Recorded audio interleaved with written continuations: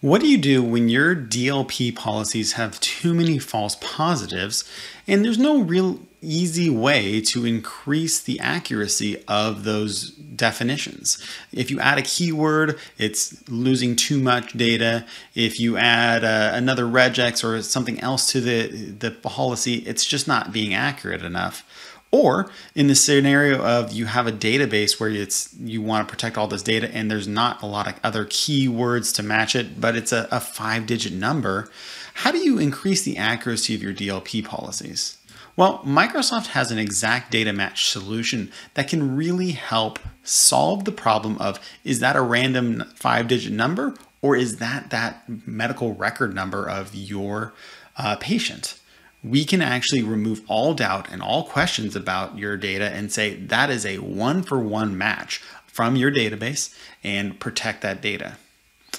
Hey everybody, I'm Doug Baker and this is Doug Does Tech. Uh, Microsoft is rolling out some new options for exact data match and in honor of that I thought I would make a video walking through how that solution from Microsoft works, how we can take advantage of it, uh, and we'll do a just high level video today on EDM uh, and then in the next video, I'll talk about exactly how to implement Microsoft's EDM solution. So let's get into it. All right, so here we are. Here's a slide or you know, a, a diagram that I helped create to kind of walk through what's going on with EDM, how do you implement it, what's happening in the background for each of this. So I'm going to start here on the on-prem side of things. What you're going to need to implement this solution is really a database that has your set of data. This could be medical record numbers, this could be student IDs, this could be, you know, actual credit cards that you're storing in your app or something along that lines. As part of this service, you will need to take from that database or that collected source and export it to a CD, CSV. That CSV can be just uh, tab-based or CSV, it doesn't really matter. But Microsoft solution then will come through and we will set up definitions to ingest that data. You'll need a processing server to take in and, and lightweight uh, adjust it. What's going to happen with that data is that CSV is going to be taken, it's going to be hashed on-prem, and then Microsoft will take that hash that you upload and put it into its EDM data store. Once in the data store, then we can start taking advantage of it. Your data is not being uploaded in clear text or anything like that to the solution from Microsoft. Everything is going to be hashed. And it's this hash format where it can just be then used to rehash the data from your OneDrive or your email and verify, yes, it does match that hash. So Microsoft's not seeing the data. All we're seeing on the, the back end is that hash, and then we'll rehash some random data if it matches the classification, and then go through. Now, once you have this data piece uploading, then we can start taking advantage of it from the DLP policy or auto labeling policy. So here is an example of how you should think of that flow. As an end user who's working in Exchange, SharePoint, OneDrive, all of those things, as they're transactionally sharing the data outside of our org or internal, we will do a classification match of it. So EDM service is not standalone to your data classification policies. It's just an extension of it. So how this is going to work is that we're going to set up a data classification. So this could be your social security number, your medical record number, something along those lines. And when uh, email matches on one of those items, it will then send it over to the EDM classification to remove all doubt that this number is in this database here or this hash upload. Okay. So that's the way you should be thinking about this DLP policy, uh, how you should be uh, thinking of building these things. It's an extension of these, uh, the data classification service. It's not a standalone product. You first need to match on the classification, then you move to the EDM.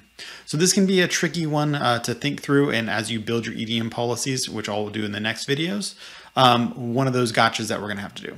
So in the case of like a social security number, if you have a classification that requires a keyword and you're matching first on that requirement of a keyword and it never has the keyword SSN or social security number, it will never flow over to the EDM classification. So as you build your EDM stuff, you're going to need to make sure your definitions are matching on the lowest level policy possible so it sends it over to the EDM to remove all doubt. Okay. So that's kind of the high level architecture view of it. Now let's let's see what it looks like as a end user. Let's see what uh, what this experience will look like. So here I have um, an email that I have loaded up in my solution, and you know maybe everything is working fine. I'm going to send this message over to Jeff Leatherman internally, and you know we we're the superhero protection agency. Uh, and so I'm going to load in some data about all of our uh, superheroes that we are working with. And, you know, I'm, I'm, on my way and I'm good. As I'm typing out the rest of the email, perhaps, uh, you know, uh, I accidentally tab and complete and add in the wrong Doug. Um, it will actually come in and do that full detailed match of these policies. And this should be roughly the same as your existing DLP policies. You should be expecting this to do, you know, almost the same. However, this is pulling from my database of superhero information to check to see if all of these things are in here. So, you know, I have Clark Kent, Bruce Wayne, you know, all of these kind of data pieces, and this all is going to 100% match up and verify. In the case of a data piece where maybe there is something like this where it could be in another one, with the EDM solution, we can also look at the other rows of the database and also increase accuracy on there. So it's not just a SRN, the superhero registration number that we're matching on, but we can also come in and verify we matched on this, but is there any of this other data nearby? And so we can increase accuracy of it. And that's what you see happening here with this policy tip. We have this high example of it's a high accuracy match because we are seeing this name as well as all of this other information nearby this match. And so that's a great way to do it. Um, so that's the EDM solution. I hope this video helps uh, walk through kind of what that experience will look like. I'm going to do a much more in-depth video of how to implement the solution. However, if you want to get started, um, there is a great set of blogs that was uh, produced by Microsoft, and I'm going to put them into the, the chat, um, and it walks through everything that you need to do to implement the solution. I'm going to do another video where I'm going to walk you through using the test data from dlptest.com, and well, I'll show you some gotchas with that implementation, the things you got to watch out for when you design that.